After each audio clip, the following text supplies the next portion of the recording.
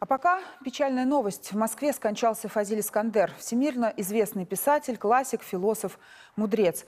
Его книги понятны каждому и любимы всеми. «Тринадцатый подвиг Геракла», «Кролики и удавы», «Человек и его окрестности», «Школьный вальс» и, конечно, «Сандро из Чигема». Рассказывая о жителях маленького абхазского села, Искандер говорил о самых важных вопросах, которые ставят жизнь. Владимир Путин выразил глубокие соболезнования семье Фазиля Искандера, всем поклонникам его творчества и таланта. Все, поворачиваемся или как? Или, или к Битову туда, в сторону.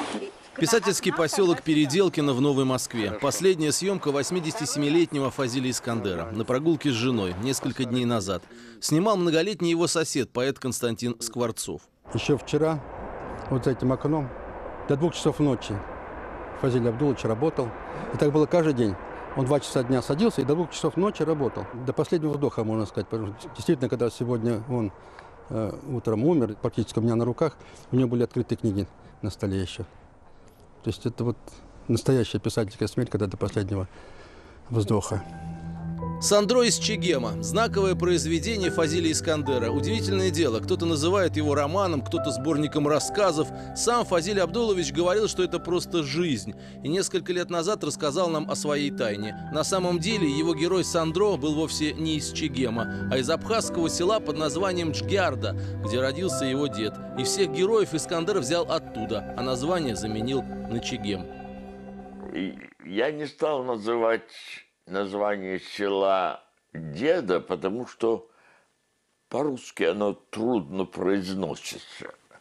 Я решил э, вот заменить его словом «чигем», которое гораздо проще на русском языке звучит.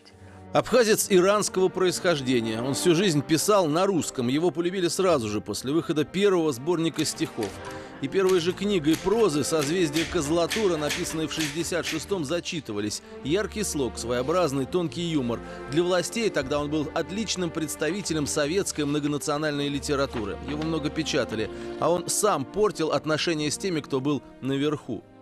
Я подписывал все письма, которые ко мне обращали по поводу арестованных политических и так далее. И каждый раз власть очень э, остро и злобно реагировала на это. Много нервов мне попало.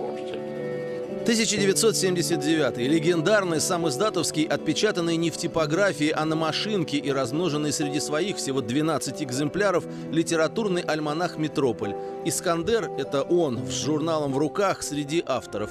Поплатились все, кто рискнул там напечататься. Белла Ахмадулина и Владимир Высоцкий, Виктор Ерофеев и Василий Аксенов. Ему же, ко всему прочему, досталось еще из-за названия рассказа «Маленький гигант большого секса».